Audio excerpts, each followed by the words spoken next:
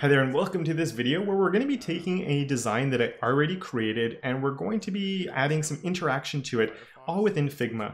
Uh, we're going to be using Figma's prototyping features to be able to do this. We're going to be adding in hover effects as well as a hamburger menu that can open and close. Uh, the X will cross, all of that. So if this is something you'd like to see how to do, stick around. Hi there, my name is Kevin and welcome to my channel. We learn how to make the web and how to make it look good while we're at it with weekly tips, tricks, and tutorials, and we're continuing from that last design that we did. If you didn't see that video and you'd like to just see me build out that layout, you can go and check that one out. There should be a card popping up for that one right now. Hi there, Kevin from the future here, and I just want to apologize for the audio on this one. Um, you'll actually hear me very faintly talking in the background through parts of the video. I really don't know what happened uh, at all, to be honest, and I'm trying to figure it out. I haven't seen it in any other recordings except for this one. Something must have been playing. I didn't hear it at all. Uh, hopefully it isn't too distracting for you as you watch through this. But yeah, it was a really fun video, so I hope despite that you can still enjoy it and learn a couple of things along the way. As I said, we're going to be looking at Figma's auto layout feature and just seeing how it works because honestly, if you want to share this with a client or with a developer, uh, that you're working with and you need to show the different ways you expect things to work or you want the client to have a good idea of how everything works, it's just so nice when they can see all that interaction, all the different moving pieces before the hard work goes into actually coding it all up. Okay, so here is the design that we left off with. And what I want to do is take this and make it interactive using the prototype tool, which means we need a whole bunch of copies pretty much of our layout here. And so what I'm going to do is I'm going to start with my desktop view and we're going to work off of this one. So I'm going to just, I'm taking my regular move tool, but I'm making sure I'm clicking right on the word desktop to select it. And then I'm pushing alt, or if you're on a Mac, it'd be option. Um, and then you can click and copy that whole thing down. And we're going to have two different groups in here. We're going to have one for the navigation. So I'm going to move this over to here. Um, and then we're to have a second group for the buttons uh, down at the bottom there. So this one I'm going to grab here again, actually, and just move that over. This is going to be our buttons. And you could name your layers appropriately. I'm going to skip that step for now. uh, but here we're going to have four of these guys. And actually we can do one of them going this way as well. Um, and I just find it easier when I'm setting all this up to organize everything, to make sort of trees on how everything is moving around. And I'm actually going to move my base one all the way over here because I just find for organizational purposes, it's a lot easier to do that. And then I'm going to grab you and move him over and we'll worry about the mobile one after. It's going to be a little bit more complicated. And you know what? I think we could make this a little bit more interesting on the desktop view too. So I'm going to take this one and make a copy. And this is where we're going to start everything off. Um, and to do this, what I'm actually going to do is take all of these, I'm going to select them, move them over to about here.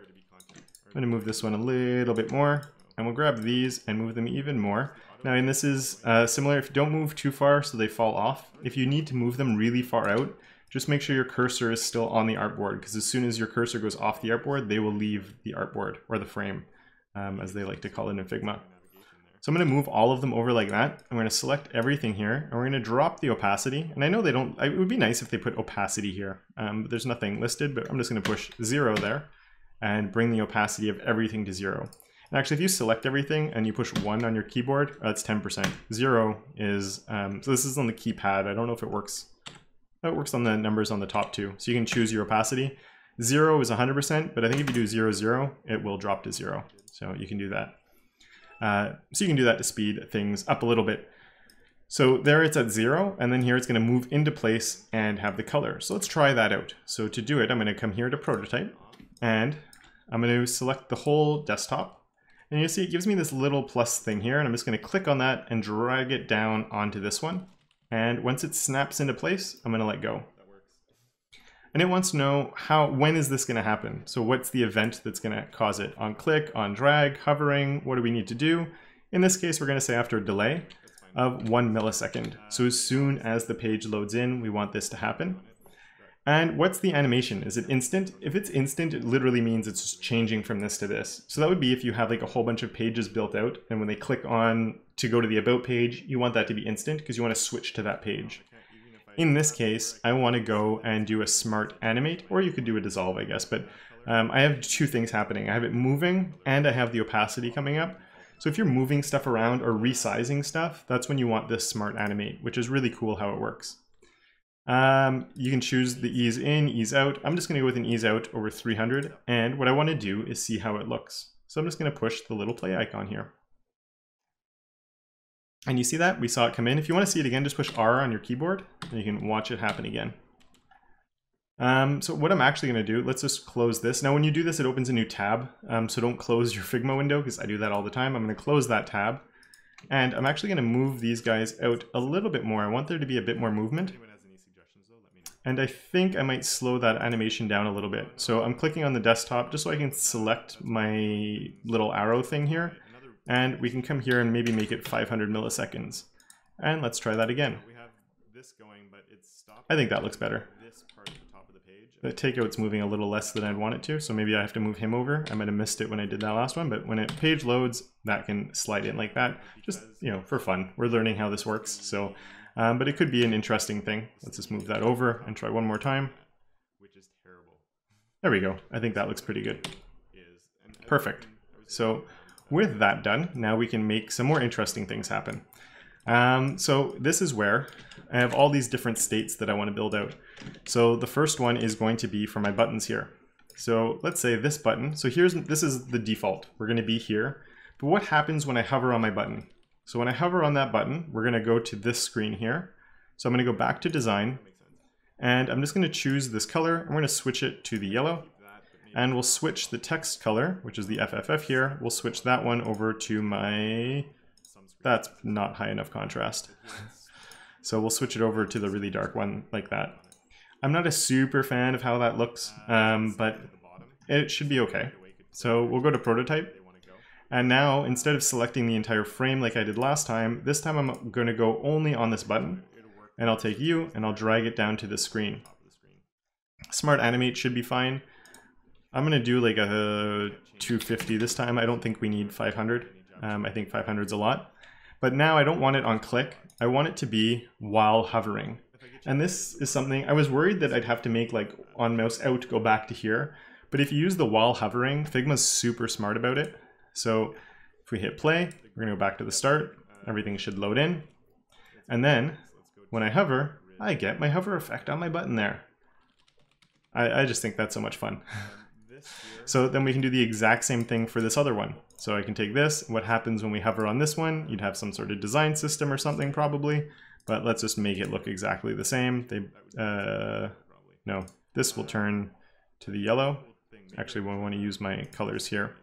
That will go to there, and my text inside of it will switch to white. Uh, not white, with the dark color. There we go. And then we would come up to this one, and on my prototype, say that we're going over to here, navigate to on ho while hovering, so exactly the same as we had before. And now, uh, if we come back, and usually wherever this play symbol is, is if you hit play here where it starts, so it loads in, that one's working, and that one's working like that. So you get this nice interactive little thing you can share with people, get feedback on it. I find it so, so cool. Super, so that's looking pretty good. Um, and now I'm gonna do the next part kind of fast because it's exactly the same thing uh, that we just did. So it just means on each one of these, I'll be changing the color. So I'll be back in just a second.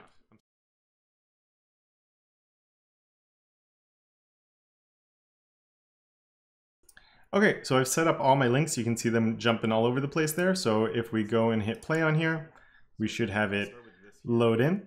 And then I can hover on there, hover on there, or I've changed the color of all of these and made the exact same thing I did on the other ones to add the hover when I hover on top of those.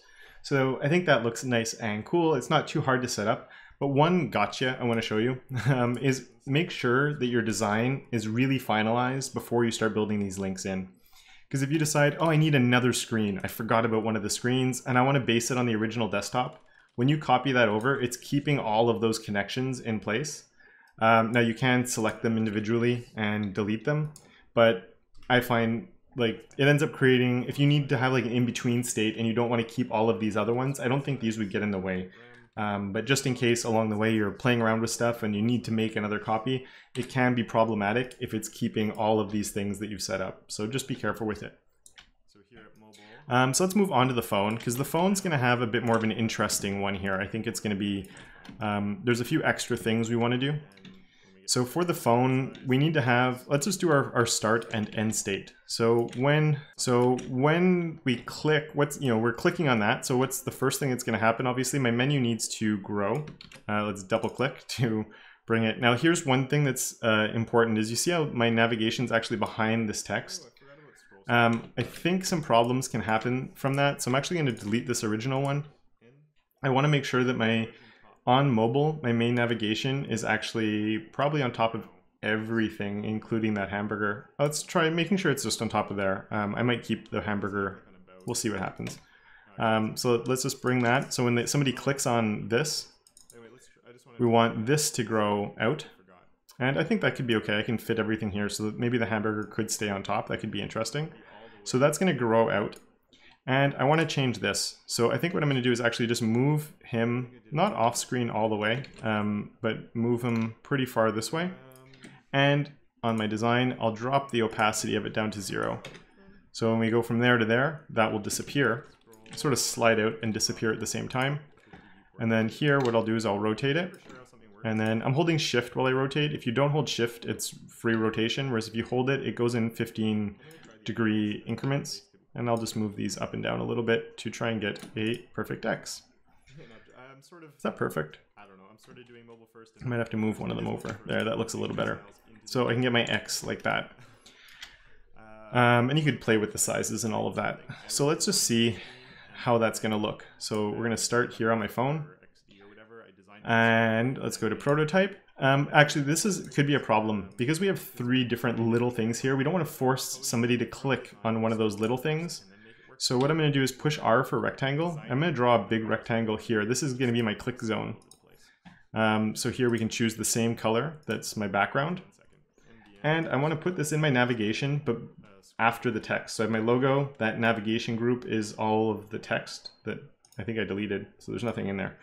Um, but I want my logo and then I want this big clickable area. And I'm going to use that as, because that's a lot easier for somebody to see and to click on. And then when I prototype it, I can see if somebody clicks on that, we're going to go over to here. Uh, the only problem is we're going to need that here too. So that's this rectangle. I'm just going to bring it on over to here as well. Um, and in that one, make sure it's in the exact same place. As long as the layer name is the same, I'm pretty sure that we won't run into any issues um, with that, especially because we don't really see it anyway, so I don't think we'll cause any problems. Um, but now on this one, if somebody clicks on it, we're gonna, instead of having it go there, it can come and go back to this frame here. So if we click on it here, it goes to here. If we click on it here, it goes back to there. So let's see if that even works and see what that looks like. Um, so what I'm gonna do actually is zoom out a little bit because I need to grab this little play button and drop it down over here, right there. Um, so that way, if not, we have no way to navigate to this. Now that my play button is there, when I click play, we should be there. And now, uh, I didn't do the hover states, we're on mobile, so I'm not gonna stress about it. And you can see I get my little hand icon, and if I click, there we go. So the Smart Animate is moving that over, it's fading it out, it's crossing those automatically, and it's making this move up and down like that. So I'm going to speed that up a little bit. I think it's a little bit slow. Um, so to do that, I'm just going to click here. It's at 250. Let's try a 175. And then I'd want the same thing going back the other way. So I'll select it, 175. And let's try that again. Yeah, I think that looks a lot better. You don't have to make that move. I just wanted to show you that we can do a lot of cool different things with that. You don't have to close this every time. You can click back and forth. I've always been closing it, but um, now one thing I did do obviously is I deleted, and this is where, remember I just said you want to be careful and not copy and paste stuff because it copies connections. So I'm just going to grab all of those and copy that. And I want to bring them back into this design actually, paste. And I want to double check one thing really. I'm going to bring them here actually for now.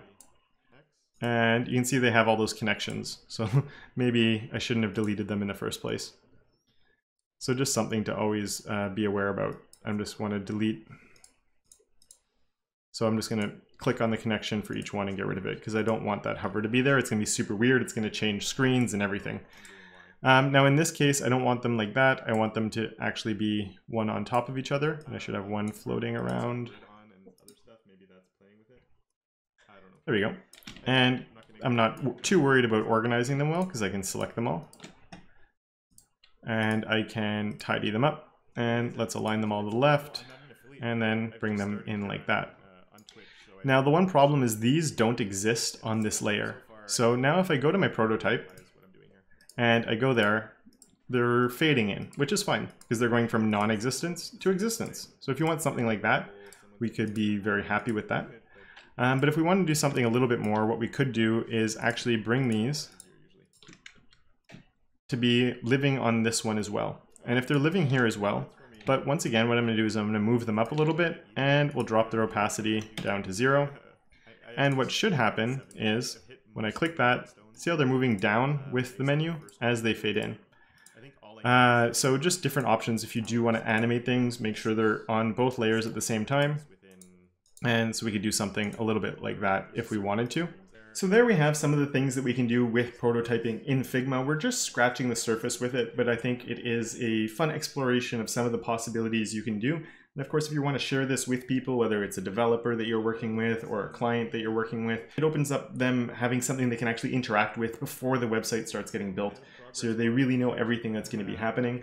And just even for yourself, sometimes it's nice to sort of experiment with these types of things. And the auto animate, honestly, there's you can try a whole bunch of stuff, and most of the time it does a really, really good job. Soon I will be coding this whole thing up, so if you want to see how I manage to do that, we'll be using HTML and CSS to do it. And if you're curious how I do that and you haven't yet subscribed, please do consider subscribing to my channel. A big thank you to my patrons for helping support me and everything I do here every single month. You guys are absolutely amazing, so thank you very much. And of course, until next time, don't forget to make your corner of the internet just a little bit more awesome.